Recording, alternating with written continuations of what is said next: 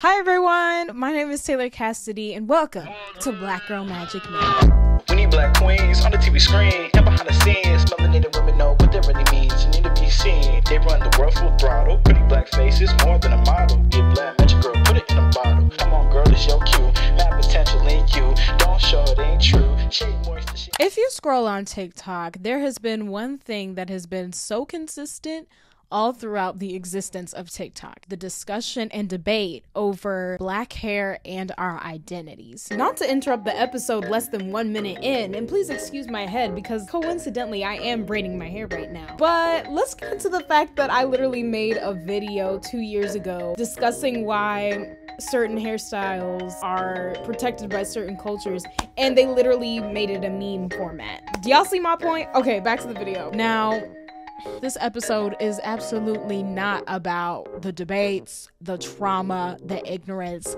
We're not about that here. What it is about is just appreciating how bomb our hair is. In honor of that, I decided to visit the Black Hair Experience in Atlanta, Georgia to figure out where does this love of our hair come from and how can we keep on having it. Somewhere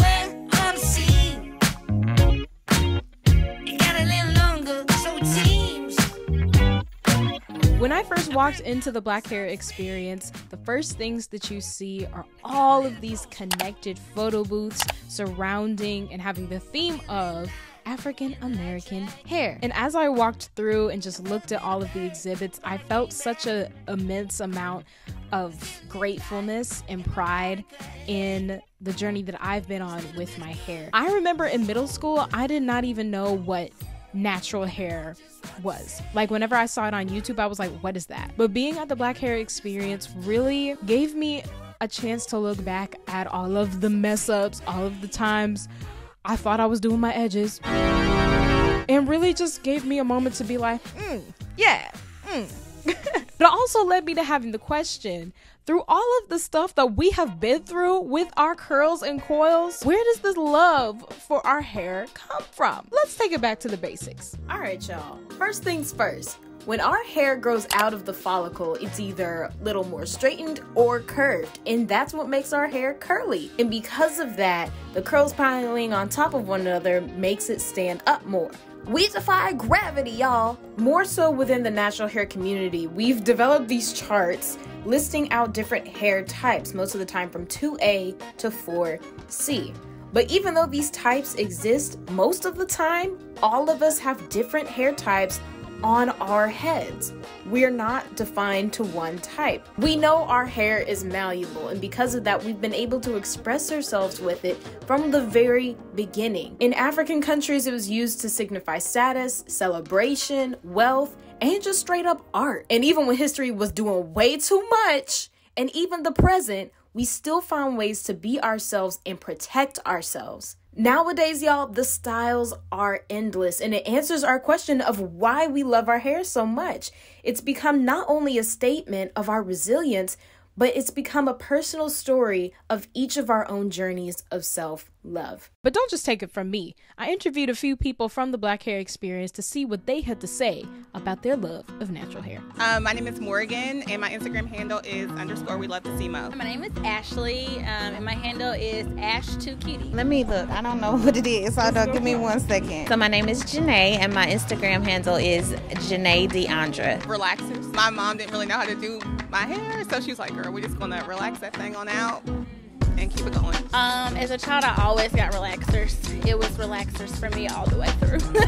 Yeah, so my mom would always do individual plaits all over my head, and I used to have um, the bows on all of my plaits, and so that's one that I remember. Uh, that's a great question. Let me think about that. I follow this girl on Instagram. Her name is Mahog- like it's Mahogany Curls. I think she recently did like another big chop. my hair inspiration would have to be Michelle.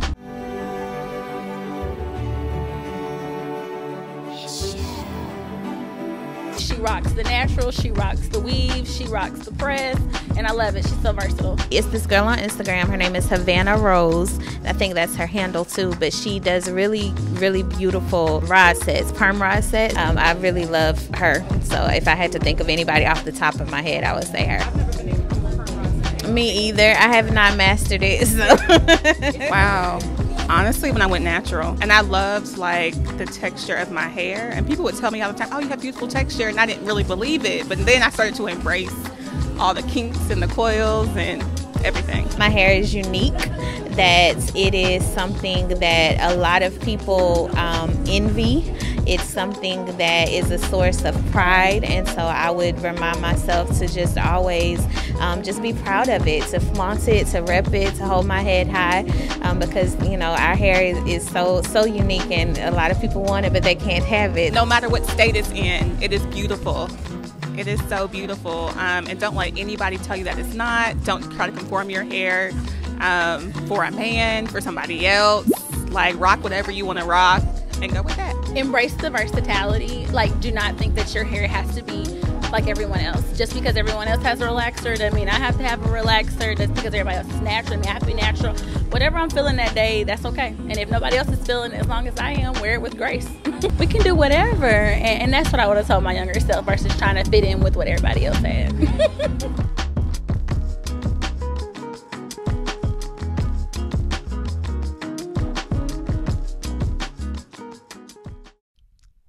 So the next time you part your kitchen and get ready to do some box braids, remember that your hair is versatile. Don't let anybody put limits on it and do whatever it is that you want to do to your hair.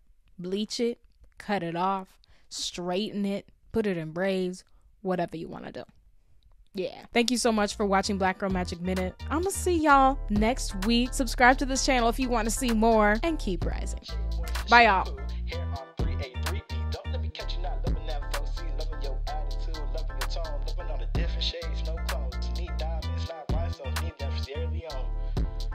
Yerleon.